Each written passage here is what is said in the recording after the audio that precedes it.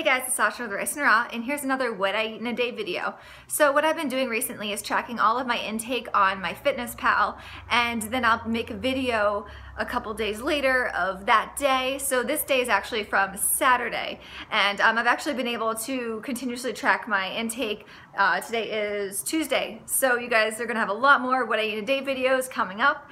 Um, I'm just gonna keep trying to put them out as, as often as I can over the next week, and then I'm gonna start doing more um, uh, different kinds of videos. Uh, definitely trying to still do what I eat in a day videos because I think those are really helpful. They're helpful for me to see other YouTubers, other vegan YouTubers, what they eat in a day. I get some good meal ideas. I learn some new ways to prepare my favorite foods. So I hope this helps you guys out as well.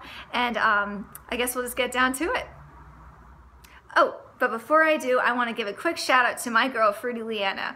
I absolutely love this girl. She is so much fun. I see her as the vegan cheerleader of the whole vegan community. She's not actually a cheerleader, but she just encourages everyone. She supports so many people and she just brings so much joy into my life. So I just want to give her a big shout out. Thank you, girl. And guys, go show her some love. She has a great YouTube and she has a great Instagram. So I'll post a link below to both of those. Check her out, show her some love. And um, here's what I ate on Saturday. So I started off my day with the same smoothie that I had in my last What I Eat in a Day video, which has blueberries, strawberries, oats, Orgain chocolate vegan protein powder, maca root powder. Uh, I think I have three bananas in here, almond milk, and then a scoop of amazing grass powder, which has alfalfa, barley, and wheatgrass.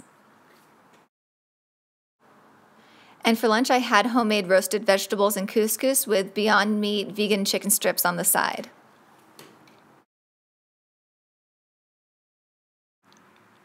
And for my first dinner, I have what I usually have all the time. This is what I call my $1.50 meal because it costs about $1.50, and that is an avocado with sushi rice um, wrapped in some roasted seaweed, dipped in some light soy sauce, and sriracha. So for my second dinner, it was pretty epic. I'm sure this doesn't look very vegan, but it absolutely is. So what I what I did is I took a tortilla wrap and I put refried beans on half of it. And then on top of that, I put on red onions, some Beyond Meat vegan beef crumble, some Follow Your Heart vegan egg, and some Daiya cheese, which is also vegan. And I wrapped that up and I put it on the stove and I got some great grill marks on it. And it is absolutely so much fun to eat, super delicious. A little bit out of the norm for me, but it's a, it was a great way to get in some extra protein. And I had a little snack later that night. I had some coconut milk yogurt topped with kind uh, cinnamon oat clusters granola. And I also had a pretty big glass of Pinot Noir. Now, I know a lot of vegans out there aren't really that into drinking, and that's absolutely fine. You don't need to be drinking.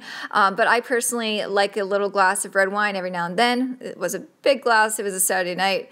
Um, I cut myself some slack. I don't find drinking to cause too many problems. I don't drink heavily. I don't drink too often. A glass of red wine here and there um, seems to be seems to be fine for me, and I don't really experience any issues. So for this day, I had about 3,100 calories, which is exactly where I want to be. And here's my macronutrient breakdown. So I did a lot better than the last day. I got more carbohydrates in, but I'm still not hitting that 75% carbohydrates that I'm trying to go for. But I'm pretty happy with my fat amount. It's under 70 grams of fat, which is great. And um, I'm also pretty happy with my protein amount, 90 grams of protein. That's awesome. I'm really happy with that as well. Thanks. Thanks guys for watching and I hope you have a happy and healthy day. Bye.